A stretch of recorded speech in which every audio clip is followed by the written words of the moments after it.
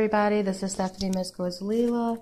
And right now what I'm doing is I am um, kneading the dough and I'll be kneading it and kneading it until it forms into a ball shape and I will show you the results of the dough when the dough is finished when I'm done kneading it.